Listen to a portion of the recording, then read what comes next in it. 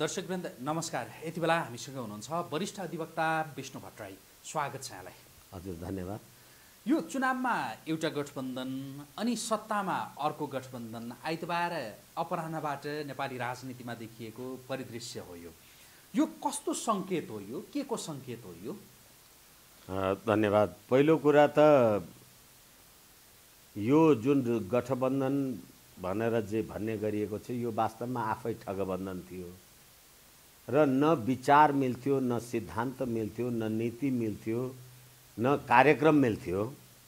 र गठबन्धन भनेर निर्वाचनमा जाने जति राजनीतिक दलहरू तत्कालीन सत्तामा रहेका पाँचवटा राजनीतिक दलहरू न उनीहरूको कुनै एउटा निश्चित सामूहिक घोषणापत्र थियो।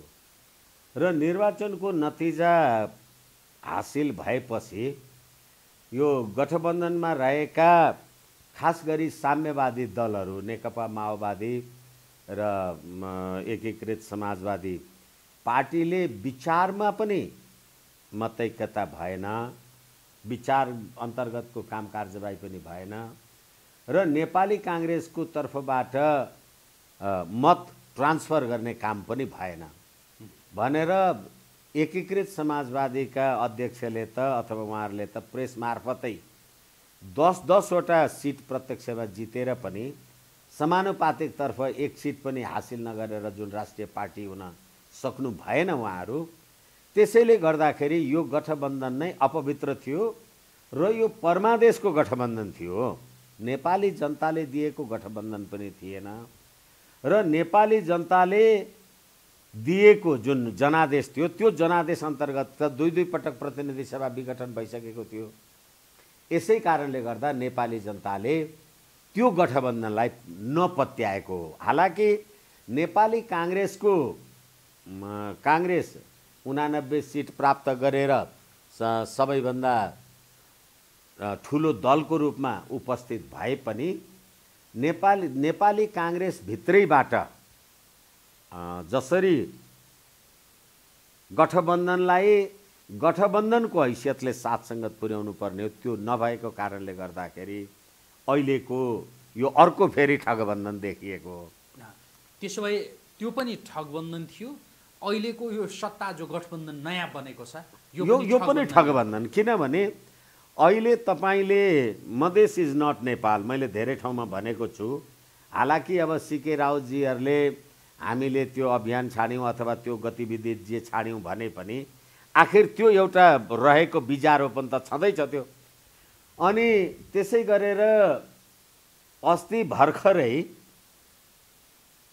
शेरबहादुर देउवाजीको काम चलाउ सरकारले जुन जेलमा रहेका कसुरदार मानिसहरूलाई कैद माफी उन्मुक्ति गर्ने फौजदारी कार्यविधि फौजदारी संहिता एक सय सोह्रको संशोधन लगायतका जे काम कारजवाही गर्नुभयो र त्यसै गरेर संवैधानिक राष्ट्र संस्था हिन्दू राष्ट्र अखण्ड नेपाल भनेर भन्ने राष्ट्रिय प्रजातन्त्र पार्टीसँगको अहिलेको सहकार्यको जे अवस्था छ र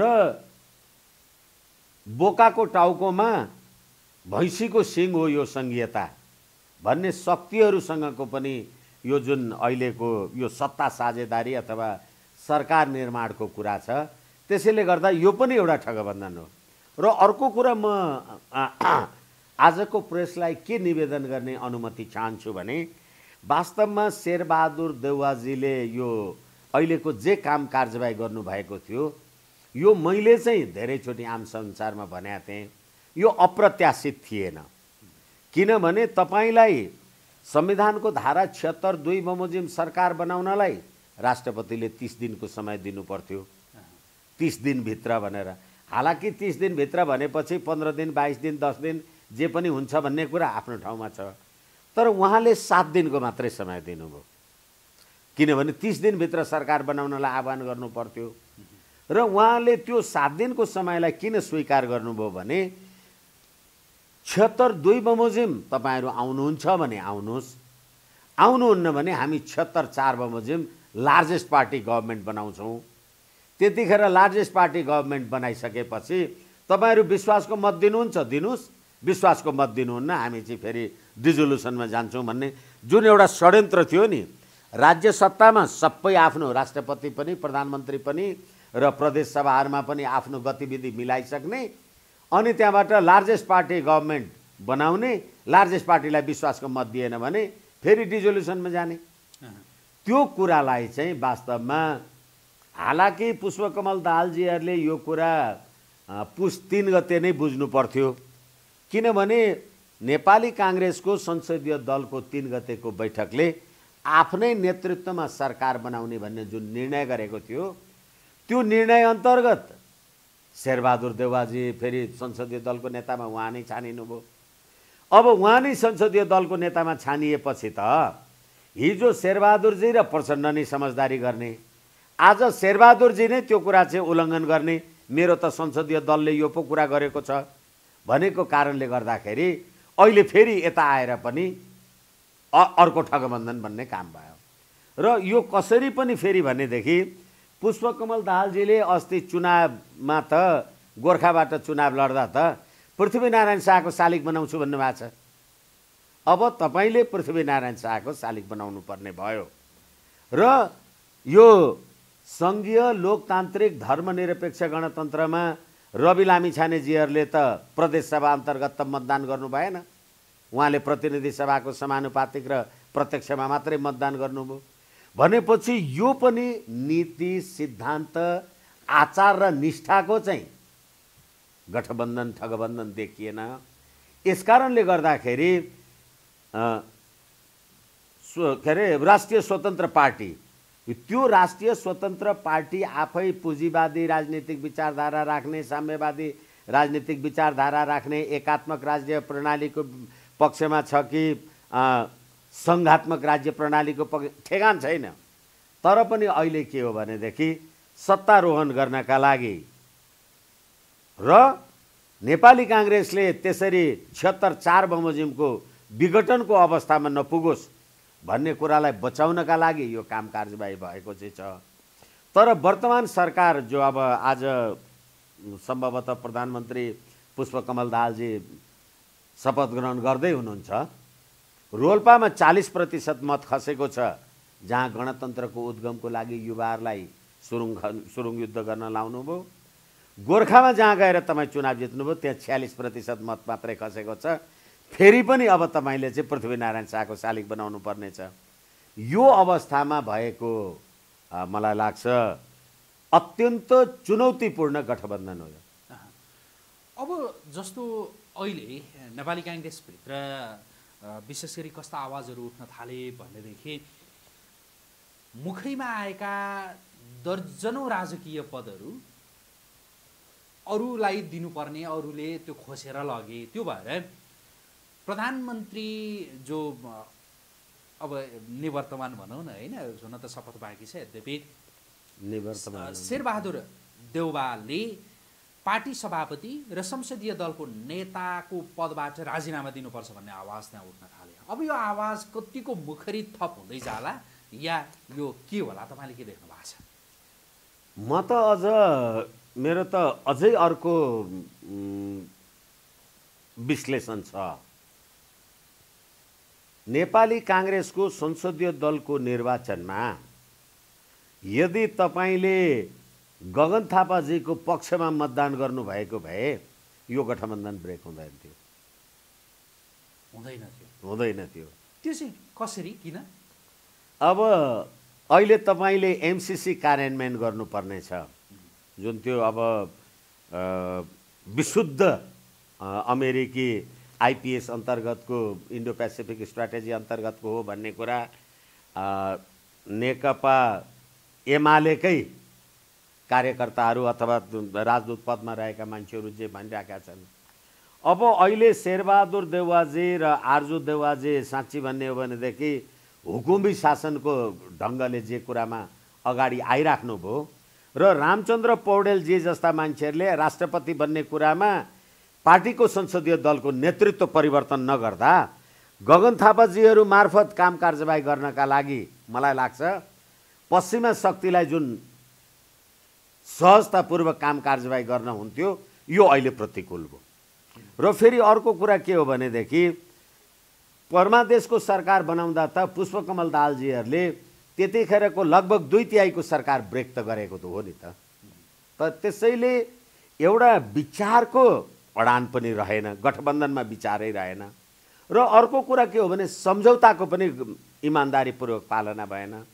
र अझै कुरा नेपाली काङ्ग्रेसभित्रको नेतृत्व परिवर्तनको कुरा उहाँहरूको बिचमा जे द्वन्द्व चलिराखेको थियो होला त्यो द्वन्द्व कायम रहँदा रहँदै आफ्नै नेतृत्वमा नेपाली काङ्ग्रेसले सरकार बनाउँछ भनेर संसदीय दलको नेताको निर्वाचन हुनुभन्दा अगाडि नै तपाईँले त्यो कुरा निष्कर्ष गरिसकेपछि त यो नियति त भोग्नै थियो नि। यसले भन्नुभयो गगन थापा संसदीय दलको नेतामा चयन भएको भए यो गठबन्धन टुट्दैनथ्यो भनेर भन्नुभयो। अब गठबन्धन टुट्यो होइन? नेपाली काङ्ग्रेसभित्र पार्टी सभापति पदबाट पनि र संसदीय दलको नेताबाट पनि शेरबहादुर देउबाले राजीनामा दिनुपर्छ भन्ने अभिव्यक्तिहरू त्यो आउन थाले। अब काङ्ग्रेसभित्र भुइँसालो जान सक्छ? मैले त्यतिखेर पनि मलाई लाग्छ तपाईँसँगै कुरा गरेको छु जस्तो लाग्छ। नेपाली काङ्ग्रेसको संसदीय दलको निर्वाचनमा विगतमा भएको कुरालाई हेर्ने हो भने गिरिजाप्रसाद कोइरालाजीसँग चुनाव लड्दाखेरि पराजित भएर शेरबहादुर देवाजीले नेपाली काङ्ग्रेस एक समयमा ब्रेक गर्नुभएकै हो। र अहिले भर्खरै हामीले कुराकानी गर्दा जे जिज्ञासा स्वरूप तपाईँले राख्नुभयो त्यसमा सम्पूर्ण देशभरिको प्रदेश स्तरीय होस् या सङ्घीय स्तरीय होस् सम्पूर्ण राजनीतिक पदहरूबाट राजनीतिक सत्तारोहणबाट तपाईँ ध्वस्त हुनुभयो अहिले। किनभनेदेखि अब नेपाली काङ्ग्रेसको सातवटा प्रदेशमा एउटा प्रदेश सरकार पनि बन्दैन। अब केन्द्रमा नबन्ने कुरा त आफ्नो ठाउँमा छँदैछ।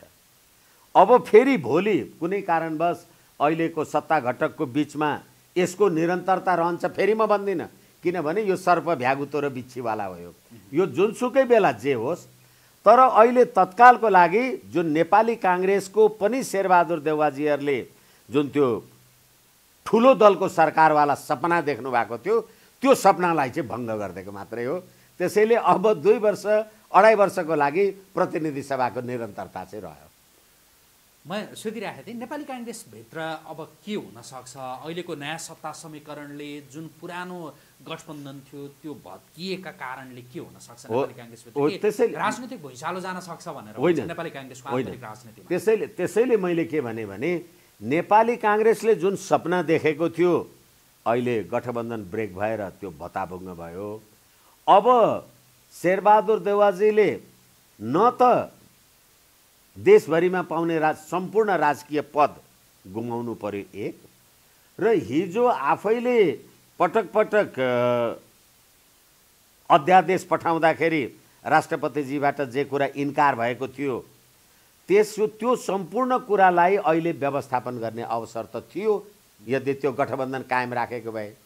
गठबन्धन कायम नराख्नका लागि प्रधानमन्त्रीजीको आफ्नै हट र साँच्ची भन्ने भने उहाँको पारिवारिक हटले गर्दा यसरी प्रतिनिधि सभामा सबैभन्दा ठुलो दल हुँदाहुँदै पनि विपक्षमा बस्नु परेको त्यसको राजनीतिक मूल्य त नेपाली काङ्ग्रेसले चुकाउनै पर्छ नि। के हुन सक्ला होइन त्यसैले अघि मैले भने जसरी गिरिजाप्रसाद कोइरालाको टाइममा शेरबहादुर देवाजी आफू संसदीय दलको उम्मेदवार हुँदाखेरि नेपाली काङ्ग्रेस ब्रेक हुने अवस्था पुग्यो ब्रेक भएको थियो पछि एक ठाउँमा भए त्यसैले अहिले नेपाली काङ्ग्रेसभित्र जुनसुकै प्रकारको त्यो अस्ति गगन थापाजीले एउटा कुरा भन्नुभयो यहाँहरूले याद गर् हुन त अब सबैले याद गर्नुपर्छ जरुरी छैन। म सरकारमा पनि जाँदिनँ तर यो अभियानमा निरन्तर लागिरहन्छु भने के? भने म अहिले संसदीय दलको नेतामा निर्वाचनमा पराजय भएँ तर जुनसुकै बेला म संसदीय दलको नेतामा विजयी भएको मान्छेको विरुद्धमा अविश्वास प्रस्ताव ल्याएर यो अभियानलाई म चाहिँ निरन्तर लड्छु भनेको थियो नि। त्यो चाहिँ कार्यान्वयन हुने भयो अब। नेपाली काङ्ग्रेसमा विभाजन आउन पनि सक्छ। आउन पनि सक्छ र अब संसदीय दलको नेताको हैसियतले जुन तपाईँलाई नेपाली जनताले ठुलो दलको रूपमा स्थापित पनि गरे र तपाईँको गठबन्धनलाई तपाईँले म्यानेज गरेको भए सत्ता विमुख पनि हुनु पर्थेन र राष्ट्रपतिको पद पनि रामचन्द्र पौडेलजीहरू जो दावेदार आदि इत्यादि हुनुहुन्थ्यो त्यो सम्पूर्ण राजकीय सत्ताबाट विमुख हुने र नेपाली जनताले ठुलो राजनीतिक दलको रूपमा विश्वास गर्दा गर्दै पनि सत्ताच्युत हुनु परेको कारणले गर्दा त्यसको अब्जस त्यसको गुणदोषको भागी त शेरबहादुर देवाजी नभएर को हुन्छ त। अघि यहाँले जस्तो अब यो दुई अढाई वर्ष चाहिँ यो प्रतिनिधि सभा अब रहने ढुक्क भयो भनेर भन्नुभयो। यसको अर्थ यो अहिले अब पुष्पकमल दाहाल प्रचण्ड नेतृत्वको सरकार दुई अढाई वर्षसम्म ढुक्कले रहने देखियो। त्यो पनि हो। ए यसो मैले भनेको कुरा के हो भने मैले अलिकति मेरो कन्टेन्टलाई प्रश्न पार्न नसके जस्तो लाग्दैछ। अहिले शेरबहादुर देवाजीले प्रधानमन्त्री पद किन छोड्नु भएन भनेदेखि संसदमा सबैभन्दा ठुलो दलको हैसियतले आफू छ। छिहत्तर दुई अन्तर्गतको सरकार बन्न सकेन भने त्यो त छिहत्तर तिन चारमा अटोमेटिक जान्छ लार्जेस्ट पार्टीको रूपमा जान्छ। छिहत्तर दुई अन्तर्गतको सरकारले विश्वासको मत लिएपछि दुई वर्षसम्म अविश्वासको प्रस्ताव राख्न पाइँदैन राजीनामा गरेमा बाहेक सो प्रधानमन्त्री हटाउन पाइएन। तर अहिले प्रधानमन्त्री पनि राष्ट्रपति पनि आफूले राख्यो र अहिले छिहत्तर दुईको आफू प्रधानमन्त्री हुन सकिएन। भने छिहत्तर चारमा त जानु पर्यो। छिहत्तर चारको प्रधानमन्त्रीले पनि तिस दिनभित्र विश्वासको मत लिनुपर्छ लिन सकेन भने पार्लियामेन्ट डिजल्भ हुन्छ। आफ्नै नेतृत्वमा सरकार फेरि अर्को त्यो डिजोल्युसनमा जाँदाखेरि पनि आफ्नै नेतृत्व भयो सत्तामा राष्ट्रपति पनि र प्रदेश स्तरमा पनि सबै आफ्ना मुख्यमन्त्रीहरू भए। त्यो स्ट्राटेजी शेरबहादुर देवाजीको थियो। त्यो स्ट्राटेजीलाई कसले प्र प्रमाणित गर्छ भने मैले तपाईँलाई फेरि पनि भने आफ्नै नेतृत्वमा सरकार बनाउने भनेर संसदीय दलको नेताको टुङ्गो नलागिकन नेपाली काङ्ग्रेसको बैठकले निर्णय गर्नुमा यो कुरा परिलक्षित हुन्छ कि? यो भनिरहनु पर्दैन।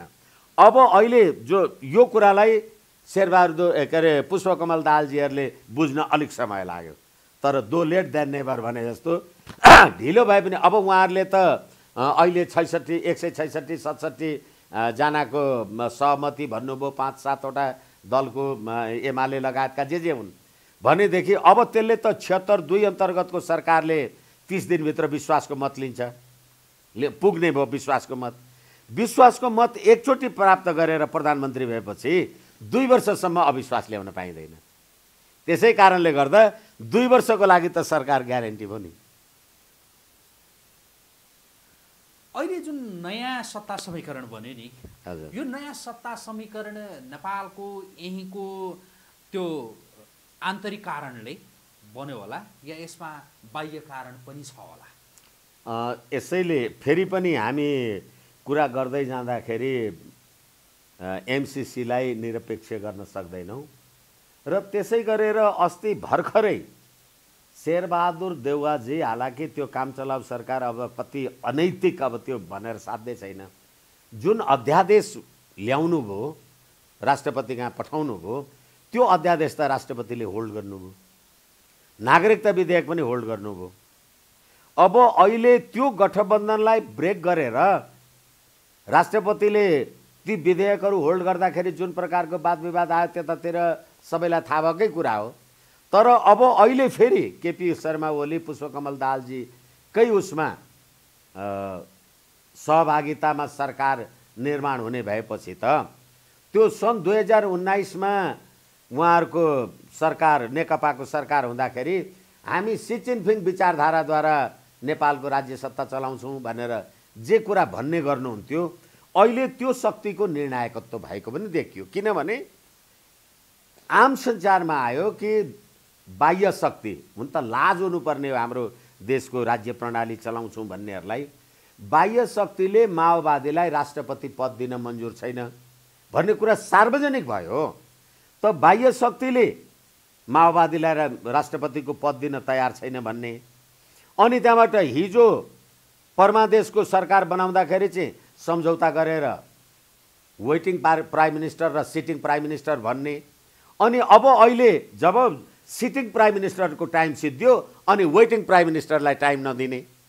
भनेपछि त मलाई लाग्छ फेरि अहिले एमसिसी कार्यान्वयन गर्ने कुरामा जतिखेर एमसिसीको बारेमा विवाद हुँदा माओवादीका लिलामणि पोखरेल लगायतका मान्छेहरूले बरु खरानी हुन तयार छौँ एमसिसी पास गर्दैनौँ भनेको कुरालाई जुन दुई हजार अठहत्तर फागुन पन्ध्र गते मध्यरातमा एक स्वरले माओवादीले एमसिसी पास गरे नि। त्यसैले अब शेरबहादुर भन्दा पनि पुष्पकमल दाहालको मार्फतबाट एमसिसीको कार्यान्वयन सशक्त हुन सक्छ। किनभने अस्ति निर्वाचनको नतिजा आउनुभन्दा अगाडिदेखि नै विदेशी शक्ति राष्ट्रका शक्ति केन्द्रहरू त नवीन श्रीवास्तव भारतीय राजदूत लगायतका मान्छेहरू त शक्ति केन्द्रमा धाउनु भएकै हो। त्यसैले अन्तिम अवस्थामा अब यो राष्ट्रिय प्रजातन्त्र पार्टी लगायतका राजनीतिक दलहरू पनि नेकपा एमालेसँगको सहकार्यमै निर्वाचन जितेर आएका हुन्। र यो कुरालाई लिएर हेर्दाखेरि त होइन अब गगन थापा पनि निर्वाचनमा पराजय हुने र शेरबहादुर र पुष्पकमल दाहालजीको बिचमा अन्डरस्ट्यान्डिङ गरेको कुरा पनि निर्वाचन नहुने ए के अरे कार्यान्वयन नहुने। यसकारणले गर्दाखेरि नेपाली काङ्ग्रेसको संसदीय दलभित्रको जे द्वन्द्व सन्द आदि इत्यादि हो त्यसलाई हेर्दै म भविष्यको लागि मध्यनजर गर्दै अहिले पुष्पकमल दाहालजीलाई हुनसक्छ एमसिसी कार्यान्वयन गर्ने शक्ति डोनाल्ड लुवाला शक्तिहरूले पनि प्रमोट गरेको हुनसक्छ। भनेपछि अहिले जुन नयाँ सत्ता समीकरण बन्यो यो यहाँको आन्तरिक कारण मात्रै चाहिँ होइन। कोही होइन हाम्रो नेपालमा भएका कुनै पनि ठुला गतिविधिहरू आन्तरिक कारणले त हुँदै हुँदैनन्। तर फेरि पनि मैले के भने भने अहिले एमसिसी कार्यान्वयन गर्नु छ। एउटा कुरा भयो र अर्को कुरा के हो भनेदेखि परमादेशको सरकारद्वारा जे जे गरेका गतिविधिहरू आदि इत्यादि थिए नो नट अगेन भनेर जे जुलुस नारा फसादी आदि इत्यादि भएका थिए पुष्पकमल दाहालजी र शेरबहादुर देउवाको अन्डरस्ट्यान्डिङ अथवा उहाँहरूको प्रधानमन्त्रीको अवधि तल र माथि गर्ने अघि र पछिवार कुराको उहाँहरूको नितान्त निजी मात्रै कुरा थियो भने रवि लामी छानेजीहरूको पार्टी अहिले केपी शर्मा ओलीजीसँग सत्ता समीकरण गर्न जाँदैन थियो नि। होइन? र अर्को अस्ति जनादेश यो यो के अरे जनमत पार्टी र यो नागरिक उन्मुक्ति। नागरिक उन्मुक्ति पार्टी तिनीहरूको पक्षमा त अध्यादेश ल्याइदिएकै हो नि। शेरबहादुर देवाजीले त अध्यादेश ल्याउनु भएको राष्ट्रपतिजीले होल्ड गर्नुभयो। तर अहिले जसको जसले आफ्नो पक्षमा अध्यादेश ल्यायो त्यसलाई छोडेर उनीहरू किन चाहिँ केपी शर्मा ओली र पुष्पकमल दाहालजीको गठबन्धनमा गयो होला त? यस कारणले गर्दाखेरि पनि के देखिन्छ भने यो यहाँहरूको यिनीहरूको मात्रै आफ्नो मात्रै समझले यो भइराखेका कुरा छैन। कमसेकम अमरेश कुमार सिंह त नजानुपर्ने नि त यो गठबन्धनमा। उनी त अब काङ्ग्रेसका जे जे हुन् सबै कुरा थाहा छँदैछ। र उनी आफू के परिचालित होलान् कता के परिचालित होलान् जे भनिन्छ त्यो सबैलाई जगजाएरै छ। तर त्यो गठबन्धन बनेपछि यो नितान्त यहाँ भित्रैको मात्रै कुराले होइन एक। र अर्को कुरा मियाके जुत्ता मियाके सर्फर भन्ने गरिन्छ। अहिले आफूलाई प्रखर माओवादी देखाउने माओवादीकै हातबाट र शक्तिबाट एमसिसी कार्यान्वयन गर्ने कुरामा पश्चिमा शक्तिले निर्णायकत्व लियो। अब त्यो एमसिसीको विषयले नि जुन नयाँ सत्ता समीकरण हो नयाँ संसद हो त्यहाँभित्र कस्तो खालको प्रभाव पार्न सक्छ? त्यो एमसिसीले यो समीकरणमा अहिलेको सत्ता समीकरण र संसदभित्र त्यो एमसिसी कार्यान्वयनको विषयले पार्न सक्ने प्रभाव के हुन सक्छ? होइन अब एमसिसी कार्यान्वयनको उसले प्रभाव पार्न सक्ने कुरा जस्तो र रसुवा केरोङ काठमाडौँ बुटवल गोरखपुर रेल विद्युत लाइन प्रसारण एमसिसी अन्तर्गत। र त्यही बाटो बिआरआईको रेलमार्ग प्रसारणको काम कारजवाही। भनेदेखि अब त्यो तपाईँले एमसिसी कार्यान्वयन गर्नुपर्दा बिआरआईलाई तपाईँले परित्याग गर्नुपर्छ। तपाईँले हालाकि बिआरआई अहिलेसम्म तपाईँ कार्यान्वयन गर्ने तपाईँको प्रतिबद्धता छैन तर तपाईँले एमसिसी कार्यान्वयन गर्ने बित्तिकै बिआरआईको प्रणेता हाम्रो उत्तरी छिमेकी शक्ति राष्ट्रसँगको जुन प्रकारको सम्बन्ध होला त्यसमा आउने खटपट त आफ्नो ठाउँमा छ। र त्यो खटपटले ल्याउने त्यो खटपटले ल्याउने अस्थिरता त्यो हामीले मात्रै म्यानेज गर्न सक्छौँ कि सक्दैनौँ? किनभने धेरैचोटि भनेको छु मैले अहिले पनि मैले यहाँ यो ऊ नै छ। त्यतिखेर ज्ञानेन्द्र बहादुर कार्कीले मलाई लाग्छ दुई हजार अठहत्तर जेठ चौबिस गते फातेमा सुमारलाई चिठी लेखेर एमसिसीमा भएको अमेरिकाको वर्तमान कानुन र भविष्यमा बन्ने नीतिको उल्लङ्घन गर्न पाइने छैन भनेर लेखेको कारणले नेपालको सम्प्रभुता अमेरिकाको पोल्टामा पुगेको देखियो नि भनेर चिठी लेखेका छ। भने त्यो एमसिसी जस्ताको तस्तै तपाईँले पास गर्नुभयो।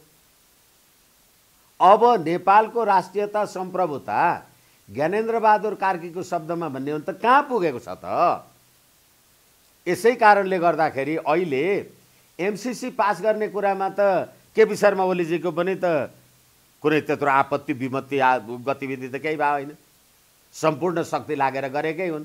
र भीम रावल जो एमसिसीको अगेन्स्टमा जे उभिएका थिए होला झलनाथ खनालजी जे उभिएका थिए होला एउटाले टिकटै पाएन अर्को क कलम पार्टीको सर्वमान्य मूर्धन्य नेता हुँदा पनि निर्वाचन हार्नु पर्यो। त्यसले गर्दाखेरि यो अहिलेको गठबन्धन पनि हालाकि अब यसमा रवि लामी छानेजीको नागरिकतावाला प्रश्न छन् र अरू कसुरदारहरू मान्छेहरूको मुद्दाका विषयहरू छन्। अब तिनीहरूलाई व्यवस्थापन गर्नका लागि त मलाई लाग्छ वर्तमान सरकारलाई अत्यन्त चुनौती चाहिँ छ नि। ठिक छ तपाईँ प्रदेश अन्तर्गत प्रदेश सरकार सरकार बनाउनु होला त्यो आफ्नो ठाउँमा छ जे होला। तर के हो भने यी सबै राष्ट्रिय प्रजातन्त्र पार्टी नेकपा एमाले माओवादी स्वतन्त्र पार्टी जनमत पार्टी र नागरिक उन्मुक्ति पार्टी सबैका भिन्न भिन्नै चित्रहरूलाई तपाईँले समावेश गरेर लिएर जानु छ। त्यसैले गर्दा अघि मैले भने दुई वर्ष पार्लियामेन्टलाई अब जब पुष्पकमल दालजीको सरकारले छिहत्तर चार बमोजिम विश्वासको मत लिनुहुन्छ तिन तिन चार बमोजिम जे लिनुहुन्छ त्यो एकचोटि विश्वासको मत दिएपछि दुई वर्ष अविश्वासको प्रस्ताव राख्न पाइँदैन। त्यसैले गर्दा दुई वर्ष सरकार चल्ने मात्रै हो। यसले कुनै क्यारिस्मेटिक कुरा चाहिँ लिएर आउन सक्छ भन्ने मलाई लाग्दैन। अब हामी कुराकानीको अन्त्य अन्त्यतिर छौँ। जस्तो रवि लामी छाने नेतृत्वको राष्ट्रिय स्वतन्त्र पार्टी जस्तै एजेन्डाका आधारमा हामी सरकारलाई सम कुनै पनि सरकारलाई समर्थन गर्ने या नगर्ने त्यो एजेन्डाका आधारमा मात्रै हुन्छ भनेर भनेको थियो त्यो पार्टीले। अहिले अवस्था के एजेन्डा चाहिँ उनीहरूको पुरा हुने भयो र पुष्पकमल दाहाल प्रचण्डलाई प्रधानमन्त्रीमा समर्थन गरे त्यो त बाहिरिएको छैन। तर रवि लामिछाने नेतृत्वको पार्टीले पुष्पकमल दाहाल प्रचण्ड नेतृत्वको सरकारलाई समर्थन गर्नुलाई एउटा स्वाभाविक र सामान्य रूपमा लिन सकिन्छ या यहाँभित्र त्यस्तो केही गुह्य कुरो छ। होइन स्वाभाविक र सामान्य रूपमा लिन सकिँदैन। फेरि पनि हामीले कुरा गऱ्यौँ अब नागरिकतावाला जुन विवाद छन् ती नागरिकतावाला विवाद ओढ्दाखेरि आम सञ्चारमा आएको छ कि नेपाल प्रहरीले अमेरिकन राजदूतावाससँग उहाँको नागरिकताको बारे अमेरिकाको बारे जानकारी कुनै के जिज्ञासा खोज्यो राख्यो भनेर पाइएको छ। त्यो नागरिकता विवादलाई तपाईँले निष्कर्षमा पुर्याउनु छ। एक। र हामी होइन एजेन्डा मिल्नेसँग जान्छौँ भनेर जे भन्दाखेरि के त त्यसो भने मधेस आन्दोलनको बेलामा दुई हजार बहत्तरमा थमन बिक भन्ने सहीलाई पुलि लौराले कुटी कुटी मार्ने लक्ष्मी महतो कोइरी जो कर्तव्य ज्यान मुद्दामा पूर्वपक्षको लागि थुनामा राख्नु भनेको छ र अस्ति शपथ ग्रहण गर्नसम्म पाएन त्योसँग के एजेन्डै मिलेर गएको हो त। यस्ता एजेन्डा मिल्ने हुन् त। त्यसो भने कर्तव्य ज्यान मुद्दामा एउटा कुनै मान्छे थुनामा पर्यो र एउटा कुनै राजनीतिक दलसँग म आबद्ध छु भनेर राजनीतिको आवरण गऱ्यो भने त्यो अहिले हाम्रो फौजदारी संहिताको धारा एक सय सोह्र दफा एक सय सोह्र बमोजिम सबै कसुरदारहरूलाई त्यही आवरणमा छोड्न त्यही एजेन्डामा मिलेर गएका हुन् त। यसै कारणले गर्दाखेरि मलाई लाग्छ मैले देखेको अब मेरो पूर्वाग्रह पनि हुनसक्छ। यो अहिले सङ्घीय लोकतान्त्रिक गणतन्त्रको निर्णायकत्वका लागि काम गर्ने शक्ति एमसिसीको लागि काम गर्ने शक्ति जे हो त्यो शक्तिले त्यो शक्तिको निर्णायकत्व यसमा छ। रवि लामी छानेले पुष्पकमल दाहाल प्रचण्डलाई प्रधानमन्त्रीमा समर्थन नगर्दाका बखत पनि पुष्पकमल दाहाल प्रचण्ड अहिलेको समीकरण अनुसार प्रधानमन्त्री बन्न सक्नुहुने रहेछ होइन? एक सय उनासत्तरी देखियो अहिले त्यसमा रवि लामी छानेको बिस घटाउँदाखेरि एक सय कति उनान्चास मत उनासत्तरी भनेपछि बिस भनेपछि उन्तिस। त्यति त्यति एकछिन हुने रहेछ हुने यद्यपि यद्यपि त्यो पुग्ने रहेछ होइन? त्यो पुग्ने हुँदा हुँदै पनि रवि लामी छानेलाई त्यस्तो के बाध्यता थियो होला? यो सरकारलाई समर्थन गर्नुपर्ने ताकि मान्छेहरूले के भनिरहेका छन् यति बेला के सोधिरहेका छन् भनेदेखि रवि लामी छाने नेतृत्वको पार्टीलाई एउटा आशाको नजरले हेरेको पार्टी पनि थियो होइन? तर सरकार बन्न नसक्ने अवस्था हुँदाखेरि समर्थन गर्नु एउटा कुरा भयो। सरकार सजिलैसँग बन्न सक्ने अवस्था हुँदा हुँदै पनि किन यो समर्थन भयो होला भनेर मान्छेहरूले अब- एमसिसीको विषय हो या होइन यसमा अब अध्यादेशवाला कुरा मैले तपाईँलाई भने अब यो अध्यादेशको विरुद्धमा अध्यादेशको विपक्षमा त नेकपा एमालेका नेतृत्व तहका मान्छेहरूले जे जे प्रकारका आपत्ति द्या उठाएका हुन् छँदैछन्। भनेदेखि अब त्यो अध्यादेशको विपक्षमा हो। रवि लामी छानेजी भने अब त्यो लक्ष्मी महतो कोइरीहरूको कर्तव्य ज्यानवाला मुद्दाको बारेमा उहाँहरूले के गर्नुहुन्छ? अब फेरि त्यसै गरेर अहिले अब टिकापुर घटनावाला कुरामा के गर्नुहुन्छ? अब फेरि अहिले सरकारमा जाने नागरिकताको बारेमा त विवादको निरूपण गर्नु छ र नागरिकतालाई त्यो त एउटा विधेयक मार्फत नागरिकता ऐन त तलमाथि गर्न सकिन्छ। त्यो घटना कसरी पनि म तपाईँलाई स्मरण गराउन सक्छु भने जब प्रतिनिधि सभामा परमादेशको गतिविधि जे भएको थियो माधव नेपालजीहरूले नेकपा एमाले ब्रेक गरेर जाँदाखेरि त होइन राजनीतिक दल सम्बन्धी ऐनको दफा तेत्तिसले त उहाँहरूको संसद पद त समाप्त हुनुपर्छ भनेर अदालतमा मुद्दा हाल्दा हाल्दै राजनीतिक दल सम्बन्धी ऐन अध्यादेशद्वारा संशोधन गरेर बिस प्रतिशत संसदीय दलका सदस्यहरू भए पनि पार्टी ब्रेक गर्न पाइन्छ भने अनि जब माधव नेपालजीको पार्टी ओके भयो अनि फेरि पछि अध्यादेश फिर्ता ल्याए। यो त हामीले हेरेकै हो नि। अहिले त्यसैले रवि लामी छानेजीको नागरिकतावाला जुन विवाद छ र त्यसलाई सर्वोच्च अदालतले स्टे त गरेन संवैधानिक इजलासले। फेरि यसमा एउटा कुरा के छ भने अरू धेरै मान्छेहरूका नागरिकता सम्बन्धी विवादहरू सर्वोच्च अदालतको डिभिजन बेन्चले हेरिराखेको छ चलिराखेको छ। रवि लामे छानेजीको चाहिँ संवैधानिक इजलासले हेरेर अहिले काम कारजवाही गर्नलाई रोक लगाउनु परेन। भनिसकेपछि अब त्यसलाई त विधान सम्मत त बनाउनु पऱ्यो नि। अनि आफू सरकारमा बसेपछि त आफूले भनेको विधेयक आउने भयो। अब राष्ट्रपति पनि अब काङ्ग्रेसको त आउँदैन नि। यसै कारणले गर्दा हिजो मलाई लाग्छ राष्ट्रपति विद्यादेवीजी भण्डारीजीले जति विधेयकहरू रोक्नुभयो होला अथवा अध्यादेशहरू जे रोक्नुभयो होला त्यो सबै कुरालाई त अहिले अनुमोदन भयो नि प्रकारान्तरले। अब त्यसैले नागरिकता विधेयकको कुरामा पनि ल रवि लामी छानेजीको कुरालाई त क्लियर गर्नु पर्यो। हुन्छ आजको लागि कुराकानी यति गरौँ। समय दिनुभयो यहाँलाई धेरै धन्यवाद। हस् धन्यवाद।